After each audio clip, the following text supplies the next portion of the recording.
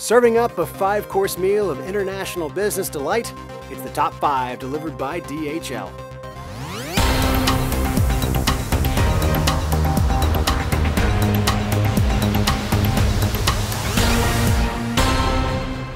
On today's top five, things you need to know about international business travel. Number one, research destination information.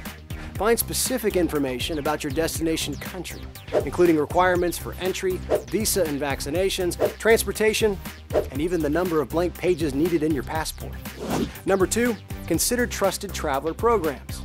Customs and Border Protection offer U.S. residents a streamlined entry process for those returning to the country after traveling abroad. Many other countries also offer trusted traveler programs from which U.S. persons can benefit. Three, Hire an interpreter if needed. It's important to plan in advance for the hiring of interpreters for any meetings, from larger group conferences to one-on-one conversations. It's critical to ensure that your translators are professionals and that their credentials can be verified. Number four, plan ahead in case of emergencies. Even with careful planning, emergencies can occur. It's important to plan ahead, such as making photocopies of your passport and having a list of phone numbers to call. And number five, currency exchange.